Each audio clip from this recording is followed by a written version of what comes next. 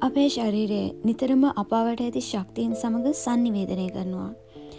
මේ හැම චක්‍රයක්ම අපේ ඇස්ට්‍රල් බොඩි නැත්නම් සූක්ෂම ශරීරයේ ක්‍රියාත්මක කරගෙන යන ගමන් අපේ භෞතික ශරීරයේ සමතුලිතතාවයට බලපෑම් ඇති කරනවා.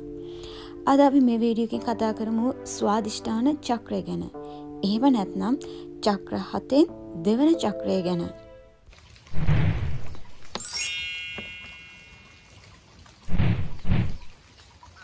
ස්වාධිෂ්ඨාන චක්‍රය පැරණි සංස්කෘත භාෂාවෙන් පරිවර්තනය කර ඇති මෙහි තේරුම පුද්ගලයාගේ ආසනයයි. මෙම චක්‍රය ලිංගිකත්වය හා ජීවිතය විවිධ වින්දනයන් සමඟ සම්බන්ධ වෙනවා. කාන්තාපුරුෂ දෙපාර්ශවයම ලිංගික සම්බන්ධතා කෙරේ බලපෑම් ඇති කරන්නේද මෙම ස්වාධිෂ්ඨාන චක්‍රය බැවින් එය ලිංගික මෙන්ම පූජනීය චක්‍රය ලෙසද හැඳෙන්වෙනවා. පළමුුව ස්වාධිෂ්ඨාන චක්‍රය පිහිට ඇත්තේ කොයිදයි සොය බලමු. මෙම චක්‍රය පිහිටීම වඩාත් හොඳින් විස්තර කළ හැක්කේ පහළ උදරය නාපියට පහලින් සෙන්ටිමීටර් තුනත් හතරක් පහලින්ය. එමෙන්ම මෙම චක්‍රය මුත්‍රාශය වකුගඩු සහ ප්‍රජනන අවයව සමගද සම්බන්ධ වෙනවා. දෙවන චක්‍රයේ ශක්තිය ජලමූලද්‍රවයට අනුරෝප වෙනවා. එබැවින් මෙම මූලද්‍රවය ස්වභාවික නියෝජිතයන් ලෙස එය වඩාත් ක්‍රියාශීලීව කාන්තාවන් තුළින් ප්‍රකාශනය වෙනවා.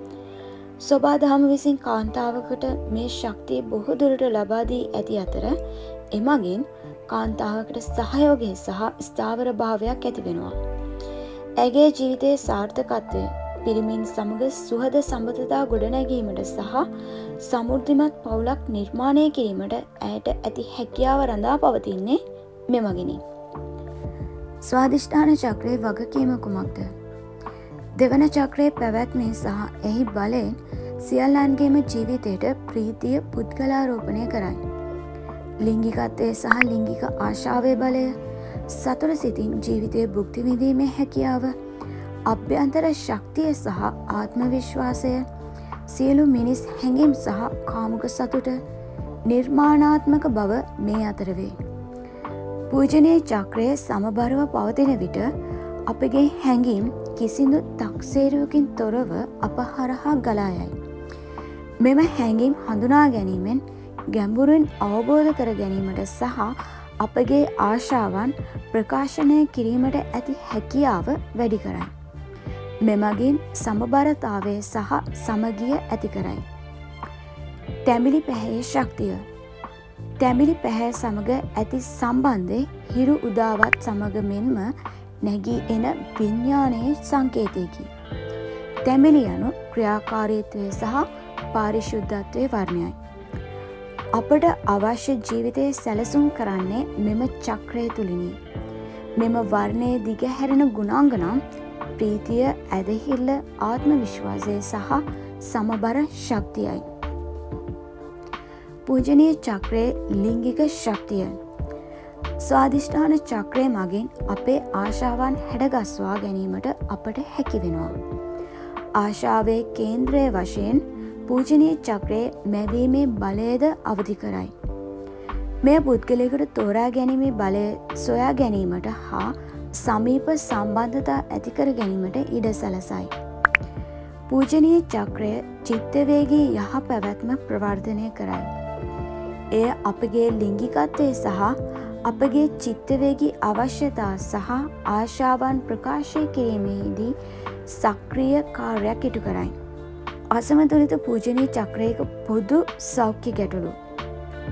නිදහංගත පහළ පිටුපස වේදනාව ආතරයිඩස් ලිංගික හෝ ලිංගිකත්වයේ ගැටලු උකුලේ ගැටලු රක්තහීනතාවය අඩු ශක්තිය වකුගඩුවල ගැටලු පූර්ව ඔසප්වීම සහ සින්ද්‍රෝමය එමෙන්ම සතුටට ඇති බිය නිර්මාණාත්මක බව නොමැතිවීම තෙහෙට්ටුව ආශාව නොමැතිවීම අනාරක්ෂිත බව මේ අතර වෙනවා. අවසාන නිගමනය. අපට පේන මේ භෞතික ශරීරයක් තිබුණට ඇත්තෙන්ම මේ ශරීරය ක්‍රියාත්මක වෙන්නේ විශ්වයේ ඇති ශක්තිීන් සමගයි. පලවිනියට එය දැනුවත් වෙන්න දෙවනියට ඒ ක්‍රියාත්මක කරන්න මොකද මේ ශරීරයේ අපට එය ක්‍රියාත්මක කරන්න පුළුවන්. එමගින් අපට අපේ ජීවිතය සාර්ථකත්වය කරා ළඟාවෙන්න පුළුවන්. ඒ වගේම තමයි මේකේ අනෙ පැත්ත. අපි අපේ ජීවිතය මෙම ශක්තියෙන් හරියට පාලනය කරය නැත්නම් අපේ ජීවිතයේ අසාර්ථකත්වයට හේතුවන්නෙත් අපිමයි. එය මට හැකි පමණින් ඔබ සැම දැනුවත් කිරීම තමයි මාගේ එකම ප්‍රයත්නය. ඒ වගේම මේ අඳින ජාමතිය හැඩතල පිළිබඳවත් හොඳින් අවධානය යොමු කරන්න. මේ හැඩතල හැම එකක්ම එකිනෙකට සමානයි. මේ සමානකම නිසාම තමයි ඒන් අපට යම් කිසි රූපයක් යම් කිසි ආර්ථයක් පෙන්වන්නේ. මේ විදිහම තමයි අපේ මේ මිනිස් ජීවිතයක්. අවසාන වශයෙන් මට කියන්න ඕන කළ තින් ඔය ටික මම හොයන දේවල් ගැන ඔයාලාව දැනුවත් කරන්න. එනිසා මගේ පේච්චකත් එක්ක හැමදාම රැඳී සිටින්න. අම්ද කරන්න ඇතුව මගේ පේච්චික ලයි කරන්න සබස්ක්‍රයිබ් කරන්න ඒවගේම අනිත් යාලුවන් අතරත් ෂයා කරගන්න. අමතකනො කර මේ පිළිබඳ කමෙන්ට් කරන්න. එනම් අදර කියලන්නම් ආය අලුත් විඩියකින් හම්මනිකම් ජා මතානේ!